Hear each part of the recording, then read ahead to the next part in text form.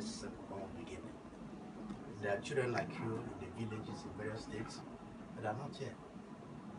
To be tree planters, to be Abuja queens. Abuja is the center of activity in this country and you're a queen. Forget their second or third runner, you're a queen, all of you, the four of you. I said, well, congratulations to all of you. And I thank you for honoring me, coming to visit me. I'm not the only one in the Supreme Court. Yeah. There are big men up there in the National Assembly, the presidents and so on. They came to visit me. I said, thank you very much. Mm-hmm. God will continue to guide you and you accomplish your dreams. Thank you. Thank you so much.